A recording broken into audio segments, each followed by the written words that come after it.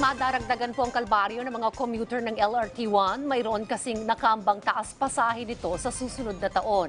Ang detalye po sa report ni Karen Villanda. Rise and shine, Karen.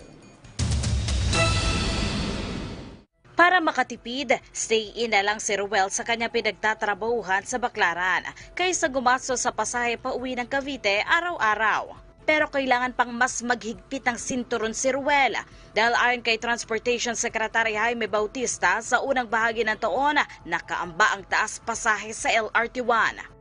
Wala naman po tayong magagawa din, ma'am. eh. Kahit na mahirap po, mahirap din po kasi yung uh, uwian ka din tapos magtataas sila.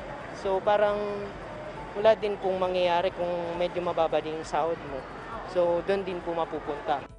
Wala pang anunsyo kung magkano ang taas pasahe pero una nang sinabi ng Light Rail Transit Authority, higit 5 piso ang petisyon ng LRMC na siyang nagpapatakbo sa Line 1. Sa ngayon, 11 pesos ang basic fare sa tren at pisong dagdag kada kilometro. most probably uh, maybe early early next year. Meron ng recommendation, no?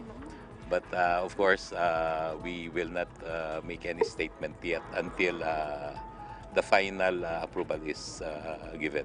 2016 pa nang huling magpetisyon ng dagdag pasaheng LRT1 pero hindi na aprubahan.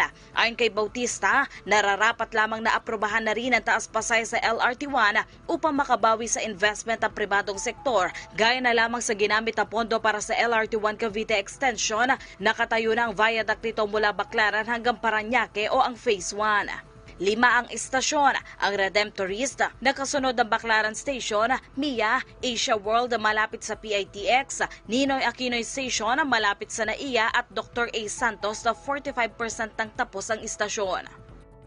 Matapos mailatag yung alignment ng LRT1 Cavite Extension, magmula doon sa Baclaran hanggang dito sa may sukat Paranaque, inuumpisahan na yung electromechanical works. Ibig sabihin ay inilalatag na yung riles ng tren at ikinakabit na itong fastener track na siyang hahawak doon sa riles.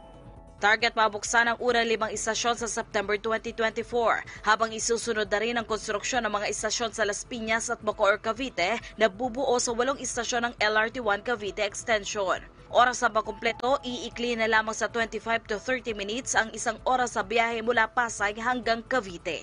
Karen Villanda para sa Morning Show ng Bayan, Rise and Shine, Pilipinas.